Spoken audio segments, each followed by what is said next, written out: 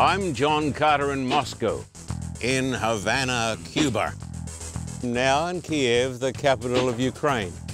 I'm John Carter in Petra, right here in communist China, reporting from India. Hi, I'm John Carter in the Solomon Islands. I'm John Carter in Soweto, from El Salvador. I'm John Carter in Sydney, Australia. Today, John Carter will teach us the origin and end of evil, the great controversy between Christ and Satan. Hi, friend. I'm John Carter. Welcome back to the Carter Report. This is part two of the origin and the end of evil. In the first segment, we talked about a being who is called in the Bible the snake. He was a slimy creature. He brought sin and death and everything bad into this world through our first parents. He was the great, first you could say, egomaniac. We read a text in the book of Isaiah, and it's all about I. This guy is saying, I'm going to do this, I'm going to do that, I'm going to be greater than God. We notice that insane people usually are obsessed with themselves. The original super maniac the person so obsessed with himself, uh, suffering from a great spiritual sickness. We call it the insanity of sin. Are you listening? This started the Great Rebellion before humanity existed in a place far, far away from planet Earth. It concerned the transformation of an exalted, shining angel to the snake to the serpent of death, and he's the cause behind every heartache, every death, every sorrow. Now, when this happened, sin was a new, strange, insidious, mysterious uh, invader into the happiness of the universe. It was a new force. It was like a, a new virus. A pandemic was about to start. Nobody understood it. Even the holy angels didn't get it. Only God understood it. We talked about this in the first segment where this snake, this beautiful, he didn't look like any of this on the screen, but this, ah, more like this. A beautiful being came down to this earth and deceived our first parents, and sin came into the world. I'm going to turn to a text now over here in Ezekiel chapter 28, and it talks about the origin of evil. Ezekiel chapter 28, we're going to start with verse 12.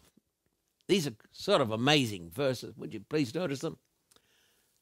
Thus says the Lord God, Yahweh Elohim, you were the seal of perfection, full of wisdom, perfect in beauty. You were in Eden, the garden of God. Every precious stone was your covering. You were the anointed cherub who covers. So here is a beautiful angel, super, super. I established you you were on the holy mountain of God. You walked back and forth in the midst of the fiery stones. This is the being who became the snake. You were perfect in your ways from the day you were created, till iniquity was found in you. Your heart was lifted up because of your beauty. You corrupted your wisdom for the sake of your splendor. And when you read this in Ezekiel chapter 28, it is talking about the king of Zidon. It's sort of amazing. Because behind the king of Zidon, behind this powerful king, there was a supernatural force. Just as the snake is behind many rulers in the world today, rulers who are little dictators, pompous, full of themselves, suffering from eye trouble. I'm going to do this. I'm going to be first. And so he was this being that came into the world who was the originator of evil. Once he was one of heaven's stars, but he wanted more. He wanted to rule the universe and the universes beyond. He was powerful, persuasive, charming, super intelligent, and he became uh, the snake. And he's called in Scripture by a special name. he is not only called Lucifer, but he is called, uh, listen to it, he is called uh, the serpent. I want to come over here to Revelation chapter 12. I'm going to turn to it in my Bible. And if you've got a Bible, you may want to go and get it and follow the text. Revelation chapter 12 and verses 7 to 9. Are you listening? Just listen to this. This is sort of amazing. Revelation chapter 12, verses 7 to 9. War broke out in heaven. Michael, that's Christ, and his angels fought with the dragon. Ah, he's no longer a beautiful looking creature. Now he's the dragon. And the dragon and his angels fought. But they did not prevail, nor was their place found for them any longer in, in heaven. So they're tossed out. So the great dragon, verse 9, the great dragon was cast out, that serpent of old, uh, called the devil and Satan, or Satan, who deceives the whole world. He was cast to the earth, and his angels were cast out with him. Almost too hard to believe. But there came a tremendous war, a tremendous war in the heavens. On one side, there was the Almighty Creator God. And on the other side, there was this superlative creature of excelling beauty with a tremendous mind and tremendous intelligence. The one who became the snake. But he didn't start out as a snake, he was full of charm and the charm was so amazing that one third of the, this is talking about millions of super intelligent beings join forces uh, with Satan in their rebellion against God. And that's why the world is in such a mess today. And there's only one solution, and that solution is Jesus Christ. This being who became the snake had a big philosophy. His philosophy was me first. All about self, not about anybody else, but me first. I'm going to become the greatest. I'm going to exalt my throne above the stars of God. I'm going to become like the Most High. And this tremendous being with tremendous power and with such a tremendous personality he was cast down to this earth. And this world became his home, which tells you why there was sickness and death and sorrow and pain and crime in the world. But the Bible tells us that God, the Creator, loved us so much that He came down to this earth in the person of Jesus Christ to defeat the serpent. There are two opposing kingdoms in this world. You and I are on one side or the other. There is the kingdom of the Creator and the kingdom of Satan. Let's talk about the Creator, the kingdom of the Creator. The greatest text, the most famous text in the Bible, is John chapter 3 and verse 16. It tells us almost everything we need to know. Listen, for God this is Yahweh Elohim, the Almighty God who made the universe, the Almighty God who made this beautiful angel whose name was Lucifer, this superlative creature of overwhelming intelligence and power. But the Bible tells us to, to meet the great issue and the tremendous threat to the, the, to the stability of the entire universe. The Bible tells us that God, Yahweh Elohim, became a man.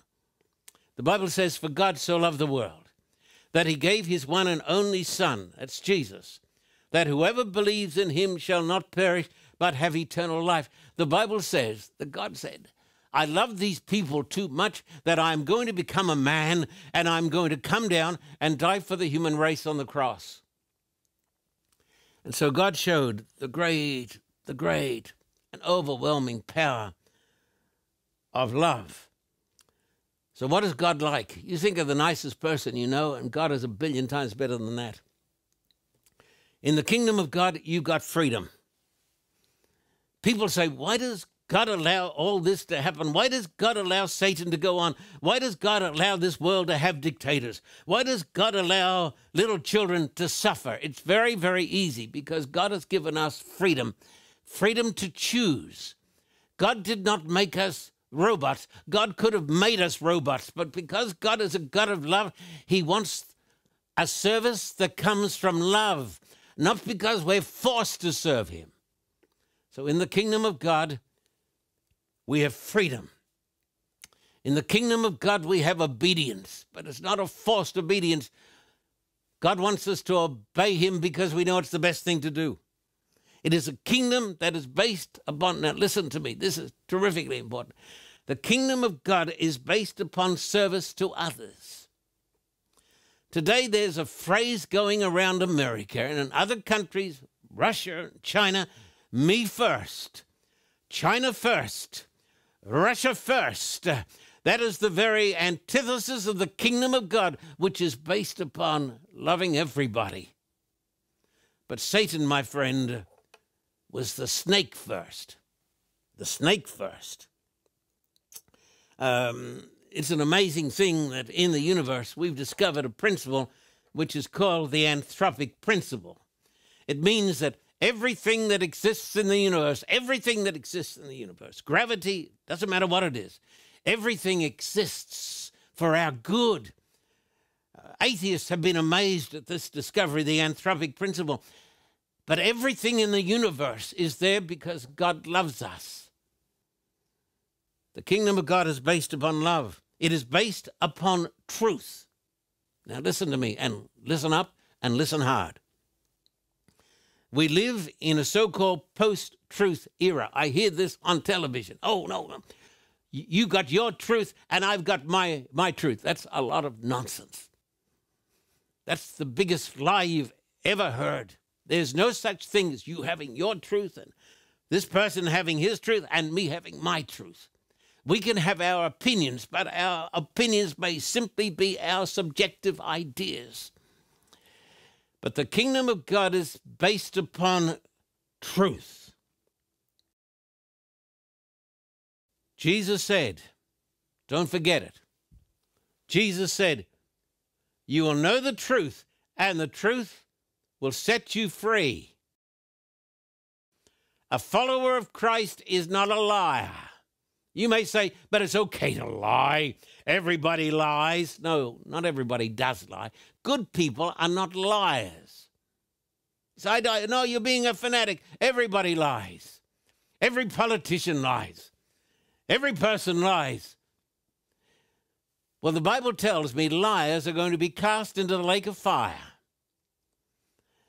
There is such a thing as truth. And Jesus said, You will know the truth, and the truth will make you or set you free. The kingdom of God is based upon justice, that which is right and fair. There's a saying in America, and it's true no justice, no peace. You see, it must not only be right, it must be seen to be right. God is a just God, and that is why there is a judgment day. And the kingdom of God, God's kingdom, the kingdom of Christ, is based upon life and liberty. Life, Jesus said in John chapter 10, I think I've come that they may have life and have it more abundantly. If you want to be happy, my friend, if you want to be fulfilled, uh, you need to be on the side of Christ because that is the kingdom of God. People say, What's gone wrong in America? What's gone wrong in the world? Why is there so much hate speech? Why do the politicians all the time seem to be talking hate? Why is this spread to people everywhere where uh, people just can't agree to disagree? But everybody's got to be in this camp or in that camp, and people have got all of this hate. But Jesus said, I've come that people may have life. So there is the kingdom of God which operates in the world, and you should ask yourself the question, as I do what kingdom do I belong to? Now, there's another kingdom. It is the kingdom of Satan, the serpent. It is a kingdom that is filled with hate. Have you ever heard it? Hate speech. Every person is a devil if he belongs to a different party to you. That's of the devil. Hate speech, desire to destroy our enemies, full of poison. Look at this text in Romans chapter 3. It is so strong, I'm almost embarrassed to read it to you. Romans chapter 3. It describes certain people. Their throat is an open tomb. Ugh.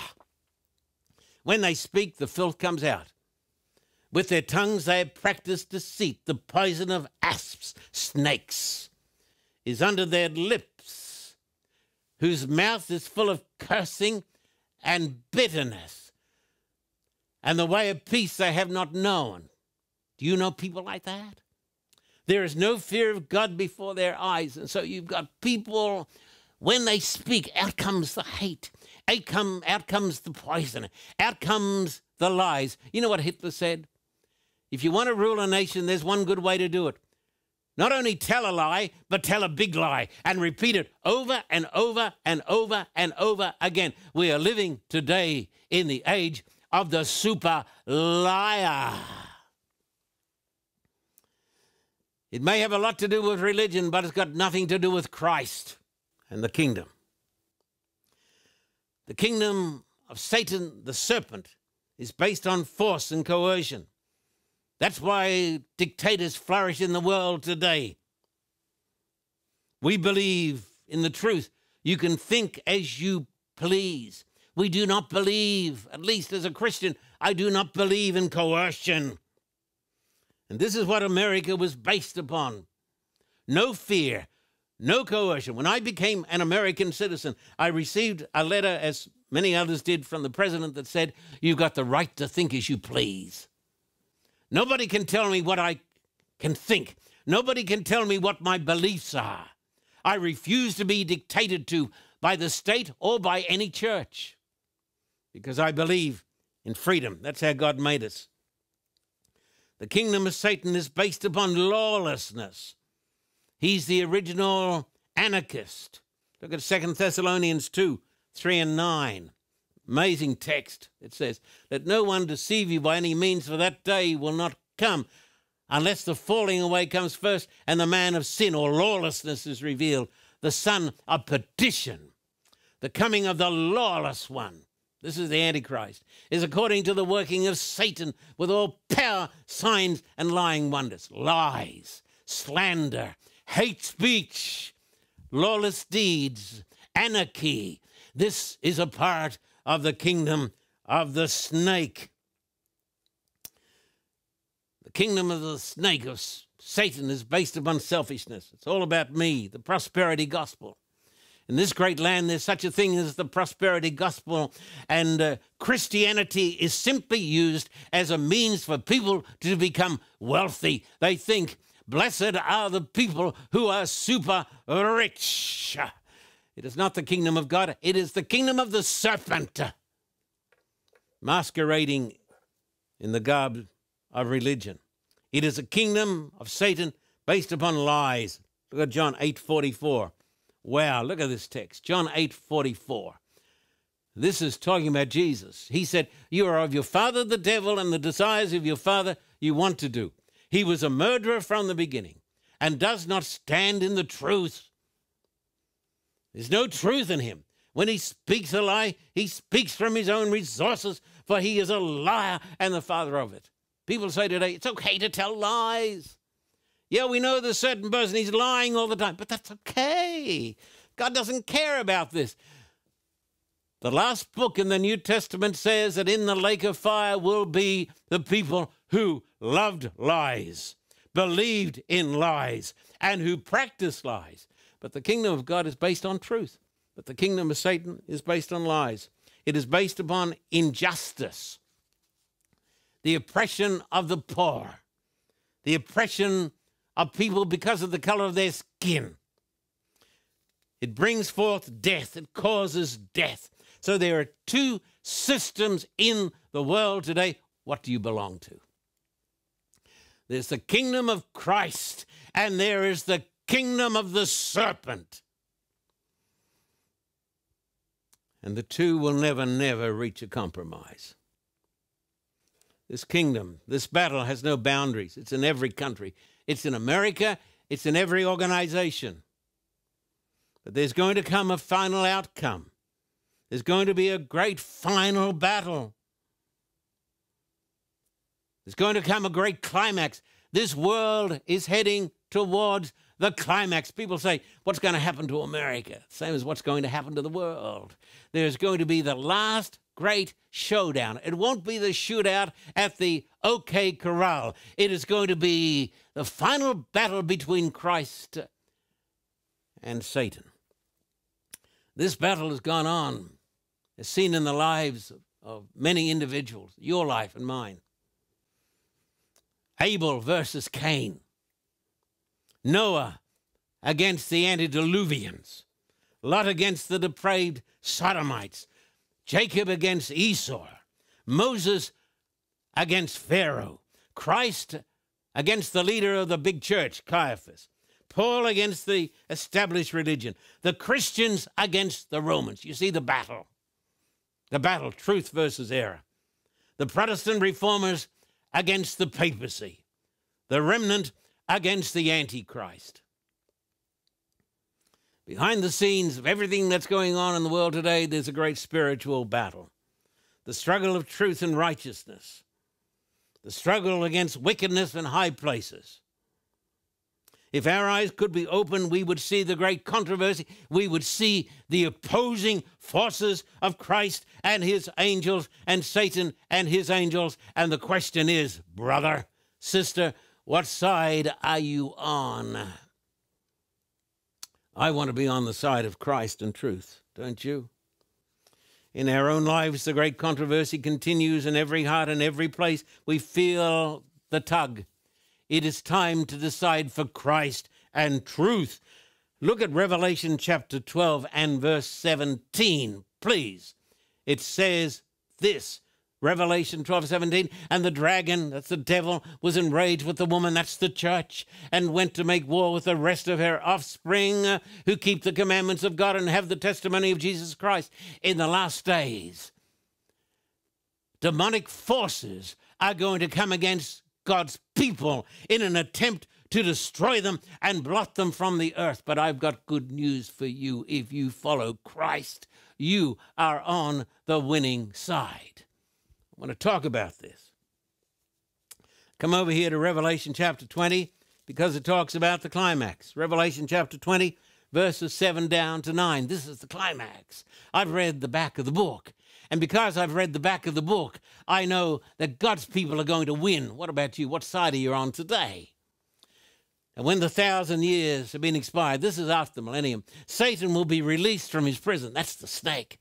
And will go out to deceive the nations which are in the four corners of the earth, Gog and Magog, to gather them together to battle, whose number is as the sand of the sea.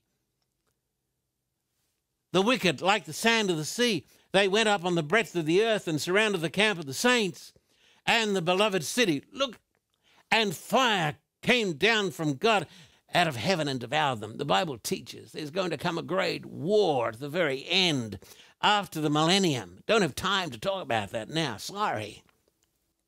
The Bible says there's going to be a super resurrection. Every person who's ever lived is going to be brought forth. That includes you and me. And the Bible says God's people are going to be in the New Jerusalem, and the wicked, led by Satan, are going to surround the city of God. And the Bible says that after the final judgment, fire is going to come down from God out of heaven and destroy Satan and the evil angels and those who practice falsehoods and lies. So, what are we talking about today? We're talking about getting serious. We're talking about getting away from man made religion. We're talking about getting away from silly little platitudes. We're talking about getting away from believing lies and following people for political expediency. Then the Bible says, after the last great showdown, God does something special. After the fire, after all of this, we're going to read this because this is so important. Revelation 21. Got to see this. Don't have a lot of time, so listen. I saw a new heaven and a new earth, for the first heaven and the first earth had passed away, and there was no more sea. And God will wipe away every tear from their eyes. There shall be no more death, nor sorrow, nor crying, nor shall there be any more pain, for the former things have passed away. And he who sat on the throne said, Behold, I make all things new. He said to me, Write, for these words are true and faithful. Listen to me. The end of sorrow, the end of cancer, the end of death, the end of lying, the end of Satan.